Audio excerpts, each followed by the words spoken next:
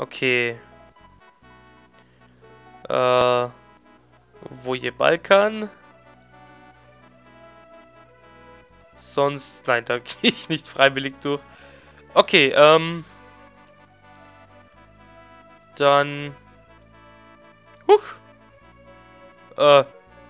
Ist mir gerade noch gar nicht aufgefallen, aber. Liegt doch daran. First Avenue. Die Stadt ist buchstäblich gewachsen. Riff, riff. Äh. Was wird mit Loa geschehen? Ja, cool. Das gute alte Loa. Sieh an. Das Schloss wurde nach dem Tod des Königs für jedermann geöffnet. Man will dort ein spektakuläres Wettessen veranstalten. Werkstatt. Handwerker Pierre. Ja, Wahnsinn. So schnell kann sich diese Stadt äh, verändern. Hallo Marcel. Du bereist die ganze Welt? Ich habe eine Frage. Ich würde gerne wissen, ob meine Bilder auch in anderen Städten gefallen. Finden? Kannst du mir helfen? Ja, na klar. Was kann ich für dich tun? Nimm eines meiner Bilder mit auf deine Reise. Wenn du einen Kunstliebhaber triffst, erfrage seine Meinung. Ich kann dir kein Geld geben, aber bitte zeige mein Gemälde herum. Selbstverständlich zeige ich dein Ölgemälde herum. Ist ja wohl das Mindeste. Wenn ich schon die ganze Welt bereise, kann ich auch so ein Bild mit mir rumschleppen. Hallo Pierre. Ich bin Pierre. Ich liebe es, Maschinen. Äh, ich liebe es, an Maschinen herumzubasteln. Willst du meine Erfindung sehen? Gerne. Erfindung? Klingt interessant. Ich kann nun Bilder von Menschen auf Papier festhalten. Kannst du mal stillstehen? Gut, fertig? oh, oh, hm. Naja, ich muss mal noch ein bisschen dran basteln. Ja, dann tu das. Aber der erste Fotoapparat ist auf dem Weg, Leute. Wir erleben hier gerade die komplette Menschenevolution. Ja, die komplette Evolution der Menschen. Technisch gesehen, alles drauf, drunter und drüber. Die Dampfmaschine wird noch erfunden. Ach, wenn ich das kaufe, fliegt raus. Ja, ich fliege gerne raus bei solchen billigen Produkten. Nee, ist natürlich Quatsch. Die komplette Evolution kriegen wir natürlich nicht geliefert. Aber schon einiges. Man sieht hier wirklich einen Fortschritt. Sieht man hier aktuell an Lore wirklich am besten. Magst du Blumen? Ich darf erst nach Hause gehen, wenn sie verkauft sind. Ein stummes Mädel und ein Pinguin. Kannst du damit wirklich glücklich machen? Okay. Nein, lieber nicht. Und... Kannst du hier nicht mal essen, oder? Zitzitze! Zu knauserig, eine Blume zu kaufen. Pfuh. Ich hab schon neun. Dumme Kuh. Heiz? Heiz? Dank Joe hat sich Loa gut entwickelt. Was haben wir denn hier? Erstklassige Sternendeutung, Wahrsager. Ich will nicht zum Orakel. Aber ich will... Randale! Nehmen wir die Stadt auseinander! Joe ist toll! Ich glaube nicht, dass Luis genauso gut gewesen wäre. Da haben wir uns ja wohl doch für den richtigen entschieden. Hallo Heinz! Der Schlüssel zum Erfolg ist die gute Unterstützung der Wirtschaft. Der internationale Handel wird die Zukunft der Stadt prägen. Wenn die Gesetze geändert werden, kann sich die Stadt entfalten. Die Wachstumsrate dieser Stadt beträgt im Moment 20%. Und hier sind wir in der Second Avenue.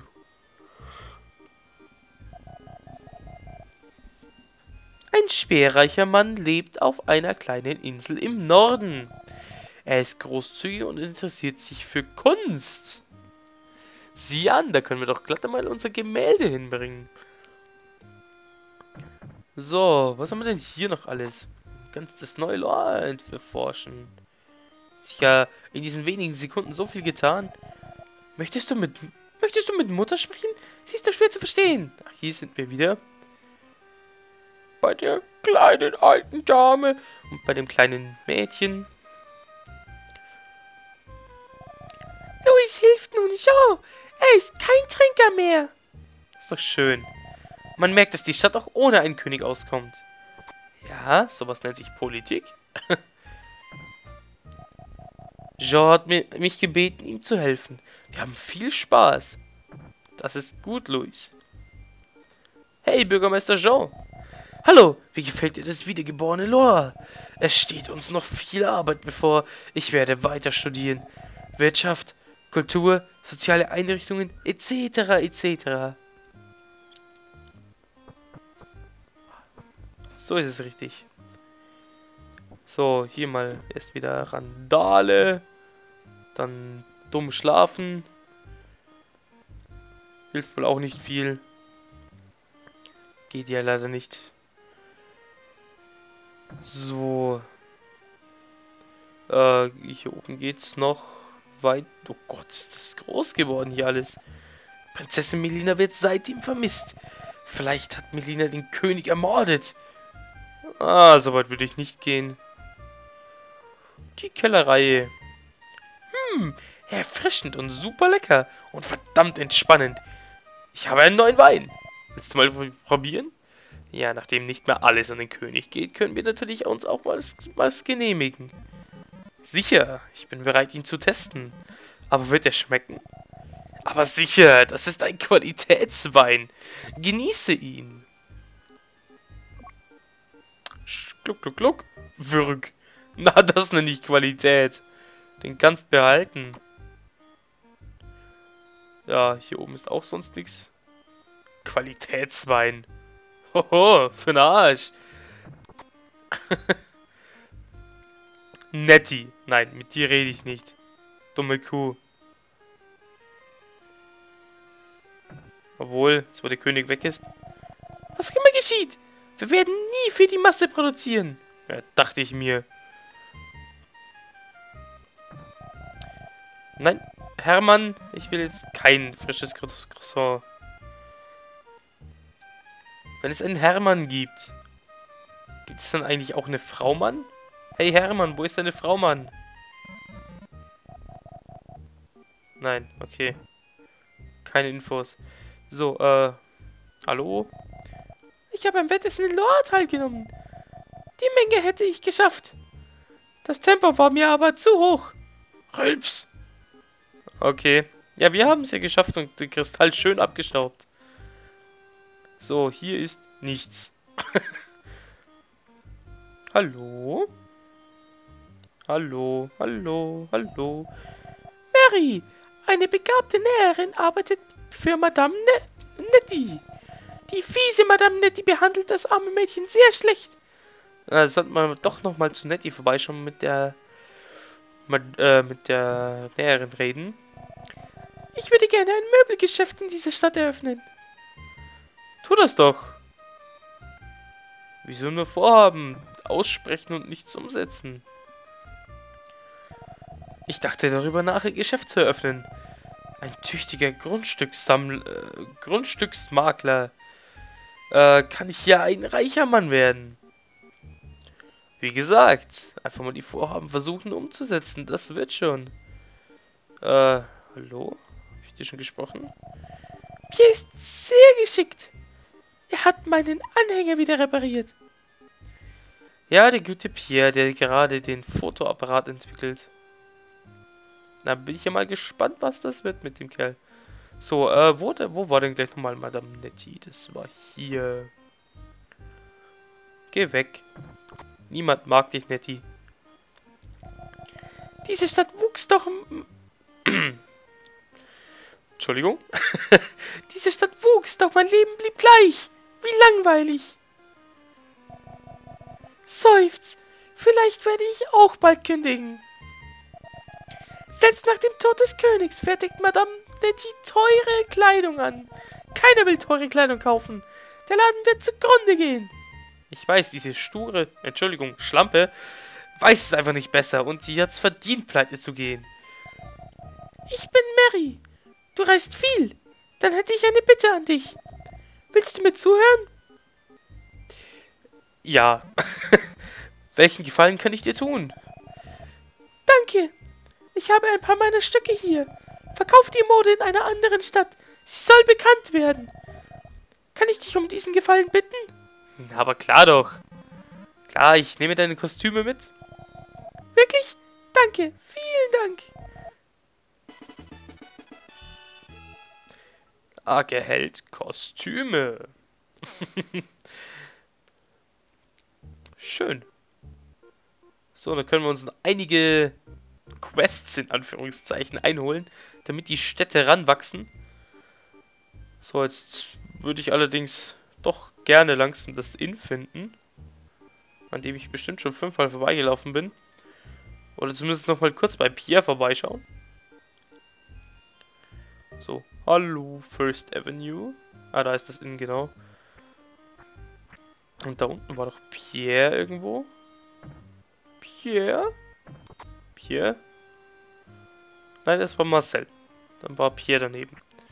Ob der den Fotoapparat jetzt schon fertig hat? Mal schauen. Hä? Ja? Ja? Mhm, mhm.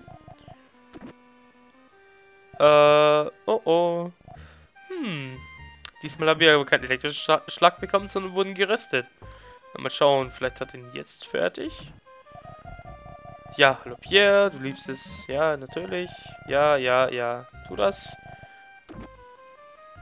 Ah! Hey! Nichts passiert! Das bedeutet, ich habe es geschafft! Eine Maschine, die Bilder auf Papier brennt. Vielen Dank für deine tolle Unterstützung. Ich werde diese Maschine Kamera nennen. Ich schenke dir eine. Also Dank, äh, als Dank für deine Hilfe. Und damit haben wir die Kamera erhalten. Mhm, mhm. Dank deiner Hilfe konnte ich sie der Öffentlichkeit präsentieren. Ja, okay. Gut, jetzt haben wir eine Kamera. Jetzt haben wir ein Ölgemälde. Jetzt haben wir Kostüme von Mary. Und da ist der Händler, da will ich nicht rein.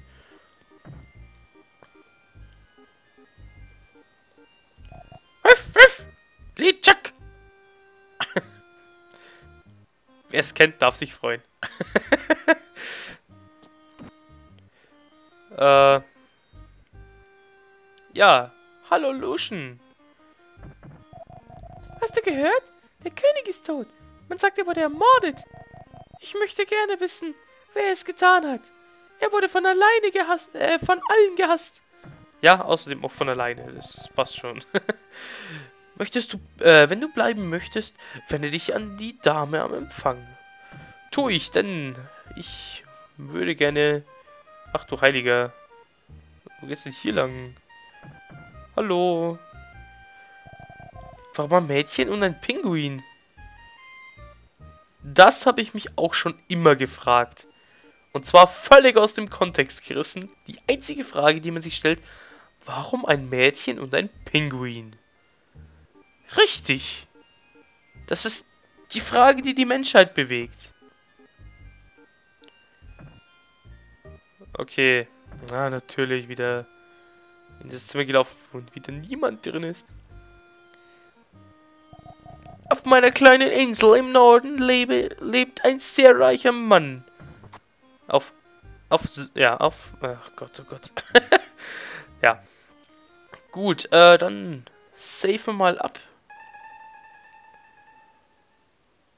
Und wir überdachten für 10 Taler das rechte Zimmer. Okay. Quatsch. Dann gehen wir mal rein. Legen uns ins Bett. Und genießen die Nacht in diesem neuen, ausgebauten Lore und ich sage vielen Dank fürs Zuschauen und beende hiermit die Aufnahmesession. Denn ich muss die Folgen rendern, damit sie auf. Damit ich, sie, damit ich sie schnell hochladen kann. Damit ihr die auch pünktlich seht. Und wir sehen uns dann in, naja, entweder wenigen Sekunden oder dann morgen wieder. Auf alle Fälle, bis dahin Leute, macht es gut, ciao.